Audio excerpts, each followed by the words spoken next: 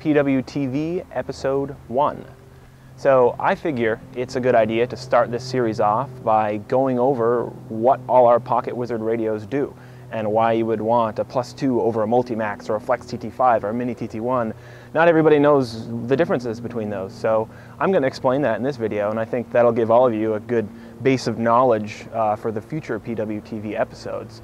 So to sort of kick it off, I'm going to start by talking about our plus 2 radios. I have one over here, actually. So 2s are a simple triggering system. They have four channels. They work with all our other pocket wizards, but they're for firing manual flashes only. They don't do any kind of TTL or send big packets of data back and forth like our new radios do. Plus twos are also really great if you have a remote camera setup and you're not even using flash at all. You just get a pair of plus twos, a remote camera cable, and you're good to go. I'm not even going to talk about manual flash triggering without mentioning the Multimax. The Multimax can do just about anything with the exception of TTL flash. It's got features like intervalometer for time-lapse images, speed cycler if you want to alternate between different banks of flashes each shot, rear curtain sync, uh, camera equalization, so if you want to synchronize multiple cameras to one set of flashes, you can do it with a set of Multimaxes. Uh, I use the Multimax to control the timing of an electronic shutter for one of my view cameras. It's definitely my favorite radio. Some flashes have Pocket Wizards built right into the flash itself, so you don't need to use a separate external receiving Pocket Wizard. Uh, the Bowens Gemini 500R is a good example of that. You can see on this flash that it has a little external antenna right here. Uh, in the back is a slot for dropping in a Pocket Wizard trigger card. So you just drop a card in there and then you can trigger it from any transmitting Pocket Wizard. Flashes aren't the only thing that you'll find Pocket Wizards built into. They also come in some Sekonic meters.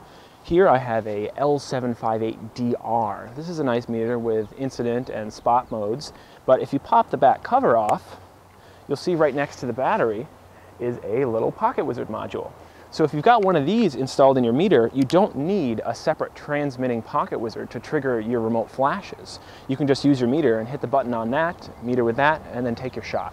We talked about plus twos, but obviously that two had to come from somewhere, so what about pluses? Well, we don't make pluses anymore, but I can still talk to you about them today. Let me grab mine.